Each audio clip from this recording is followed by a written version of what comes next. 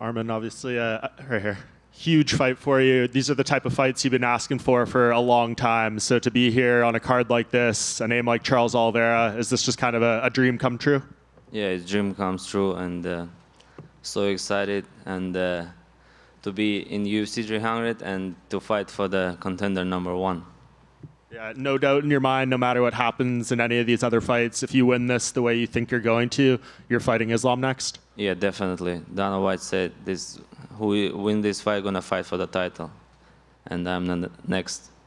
And of course, you don't want to think beyond this. This is a very difficult fight with Charles, but there's this kind of Islam saying he wants to fight June 1st. Would that even be possible to ask you to just turn around in seven weeks? I don't know. I can answer this question Saturday. For sure. And uh, just your thoughts on Charles and kind of where he is at this point in his career. A lot of people have vocalized that they think, you know, he quits in fights and he folds and things like this. Do you do you see him as that guy, or do you think he's, you know, someone different now? No, how former champion can be like this. So he he was a former champion. He defend titles, and uh, the quicker guys can be a champion. So I don't think so. Like. Arman, right here. Uh, Charles uh, did an interview earlier this week. You know, he responded to some of the things you said about him. You know, his he's obviously limited and he takes backs really well, but nothing really else. Maybe he's not hungry, and he he just kind of like called it bullshit talk. Do you think you are getting under his skin before this fight? I mean, I gotta talk about him, you know, because he doesn't talk about me. I gotta talk about him. So I wanna like to get people to watch this fight more, and that's why I gotta say something about him. So it's nothing personal. You're just trying to. No, no, no. I'm just trying to to get more fun to watch this fight. Um, and just two really quick ones for me. Can I get your thoughts on the main event between Jamal and Alex, and the BMF fight between Justin and Max? Uh, I want to say about BMF. I feel like Justin gonna knock him out first time. And what about the uh, the main event between Alex and Jamal? Main event is uh, I don't know 50-50, but to be honest, I didn't watch their fights because they're not in my division. I just I just watched a couple highlights, and uh, like 50-50. I don't know them very well. I'm in over here. You suffered your uh, second loss inside the company in June of 22. It was a very close fight, but now fast forward to April 2024, you're about to fight Oliver and potentially earn the title shot after Saturday night. So, did anything change from that night to now, and if so, what changed? Uh, a lot of things change. I'm getting better every day. I'm just 27 years old, you know, and like I'm learning every day new techniques and. Uh, uh, I got a lot of experience, and I got three more fights after that, or four more fights. I don't remember, but yeah. So I feel like now I got better, and uh, my striking is getting better, my wrestling, grappling, conditional, you know, and uh, also English. Arman over here. Arman, right back here. How's it going? Good. How are you? I'm doing great. Good to see you. Um, we obviously saw that you were training at American Top Team for this camp. Dustin Poirier fought Charles Oliveira. Did he give you any sort of insight uh, on him as an opponent? Did you get to work with Dustin at all? No, I didn't work with uh, Dustin because uh, he had the fight before me. So, uh, but our coach is the same, you know, and uh, they already know what I gotta do during the fight, and uh, what mistake did uh, Dustin. I shouldn't do the same, you know, and uh, we work a, lo a, lot on it, and um, we watch all his fights, and uh, we did good job. So I feel like this Saturday, I'm gonna show good performance. Um, we saw Grant Dawson in a photo with you. Who are some of your other training partners for this camp? Yeah, a lot of sparring partners, and uh, I don't want to like say one name because I have 10, 15 sparring partners, and uh, everybody help, help me, and thank you so much, ATT. And uh, I know uh, Isaac Dulgarian uh, mentioned to me in an interview, he's Armenian as well. He mentioned about uh, getting to train with you at some point. Have, have you spoken to him at all? Obviously, he's a, a tough uh, opponent in the featherweight division. Yeah, he's a good guy, and uh, we just text text to each other, but I haven't seen him personal.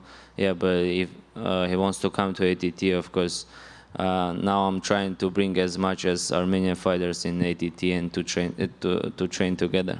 And just last one from me. I know you like hockey. Uh, are you going to be going to the Golden Knights game on uh, Friday night? They're playing the Minnesota Wild. If they invite me, yes. Arman, over here. What sets you apart from other fighters in the division? How do you plan to leverage those skills on Saturday night? Say one more time, please. How, how do you, what sets you apart from the division and what skills set are you going to show on Saturday night? I'm gonna do my work. You know what I was training so long. You know, try to be well-rounded. Try to strike, wrestle, grappling. Like I wanna be best on um, every positions, and I feel like my skills, it, uh, my skills, that skills I have, I can strike, I can wrestle, I can grapple. So I'm gonna uh, tell him what we're gonna do during the fight. If Charles invites you to the ground, is that something you're going down on the ground with him? No problem. Arman right over here. Uh, obviously, on the card is your teammate Kayla Harrison. In Miami, you were asked that thing with the fans, and it became a bit of an issue. She said you guys had talked about it. Can you just explain a little bit, just from your point of view, what was going on when you heard it, and just everything that happened? Oh, what happened? We talked. We talked to each other after that, and uh, she understood what I mean, and uh, now we're good. Thank you. Arman, I know you've spent a lot of your training camp in Russia and you've been training under a three time freestyle wrestling world champion. How much has that helped you level up your grappling and prepare you for such a high level grappler like Charles Oliveira? Yeah, uh, in Russia is the best freestyle wrestling in the world, and uh, train with them. It's uh, it gives me, uh, you know, I think the hardest training is a freestyle wrestling because they train like a crazy three times a day, and uh, uh, yeah, it ga- it gave me to wrestle very well and uh, to improve my conditional, especially like wrestling conditional.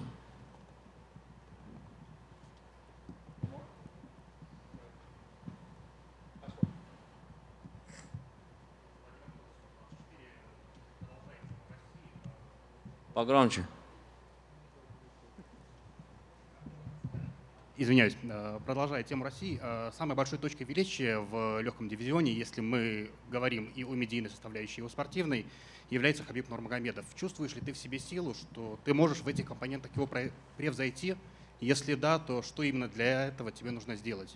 And for our English-speaking colleagues, uh, the question was about uh, legacy that left in lightweight uh, division Habib Nurmagomedov, and is Arman feel that he can uh, be even greater? if, if we are talking both of sport and media. Еще раз на русском вопрос можно?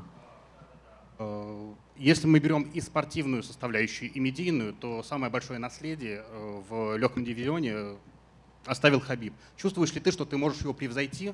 И если да, что тебе для этого нужно сделать? Ну, превзойти в этой жизни можно любого. Нужно сделать как, как минимум, как он, максимум еще больше защитить титул, ну, раз, наверное, 6-7, и быть таким же достойным человеком, как он, и я думаю, что все получится. Но я не стремлюсь а, быть медийным, как он. Я хочу просто стать чемпионом и защитить пару раз этот титул. И просто доказать самому себе, что я могу быть чемпионом. Обои. На английском надо? Should I say in English? А, так, что он там на английском сказал? Like, I'm confused. Uh, I don't want to be superstar, superstar like Khabib. I just want to be a champion and defend a couple times my belt, and that's it.